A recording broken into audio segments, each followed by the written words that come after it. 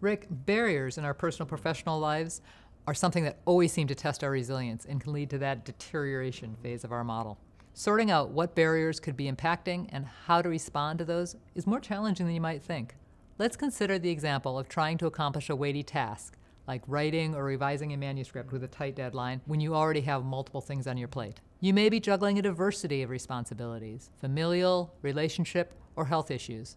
Under this scenario, it is easy to feel overwhelmed. That feeling with your example, Robin, is likely about not finding the time or making the time to write under this scenario, this overwhelmed feeling is probably coming from all of the competing demands and stressors that get in the way of writing. It can be useful oftentimes to step back a bit and consider your situation. Is it possible to achieve it all? Are your expectations realistic? Where are the expectations coming from?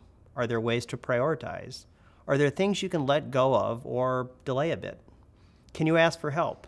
And if it is an issue of your productivity, are there things that might help you be more productive during a given semester or quarter, even if you have to take time in the short run? Are there ways to better organize or manage your time? Overcoming barriers may also have to do with reflecting on how you respond to the expectations for your postdoc and how those are aligned with other responsibilities you have.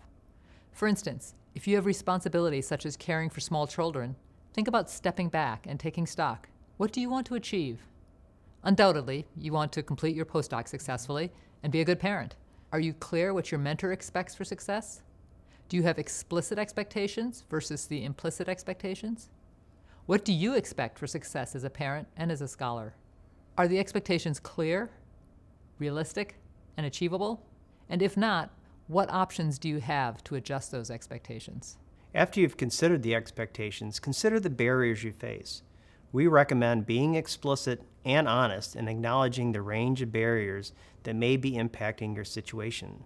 Sometimes stepping back and naming or describing what is challenging us is the first step toward developing solutions. Also, reflection can help identify alternative paths to achieving your objectives or help you prioritize how to spend your time and energy, perhaps uncover unexamined assumptions about the success, or identify who might be able to help. Now, reflect on a barrier that you have encountered or are currently encountering that feels out of your control. What are the current steps you have considered or have already tried to address the situation? We will revisit strategies as we move through this module. We encourage you to reflect in the space provided below. So let's consider how reflection can help guide us towards simple, concrete actions that might help us move forward. We have developed three case studies in which fictitious postdocs are facing real life barriers to their success.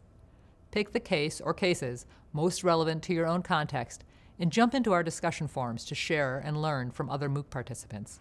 And just to be clear, there are no right or wrong answers or solutions to these case studies. We provide them just as a pedagogical tool for you to reflect on strategies these three postdocs might use to address their respective issues and goals, and we hope you find them valuable. Each of these case studies has to do with managing multiple demands with limited time, much like you'll have to do as you transition out of your postdoc position and into a position at an academic institution, an industry, or in a government agency. In these situations, don't forget to consider how you organize your time. For example, what is the first thing that you do when you get to work? Turn on your email and return messages? If you have an important task to accomplish that day, like a manuscript revision, Responding to simple emails may not be the best use of that first hour.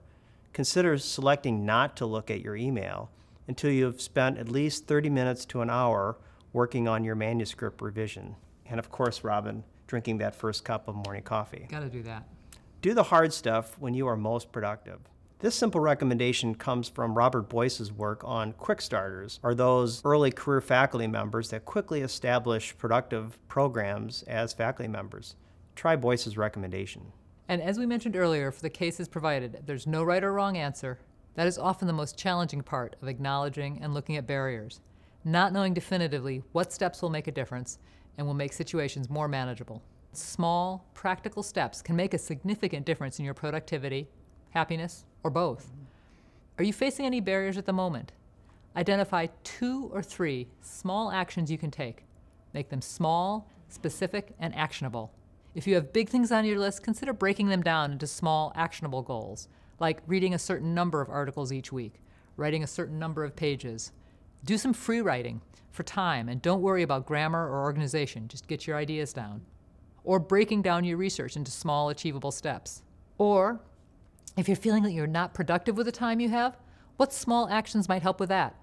Consider having lunch with a friend every Friday, having some me time by walking 10 minutes a day, or reading one chapter of a fun book each weekend.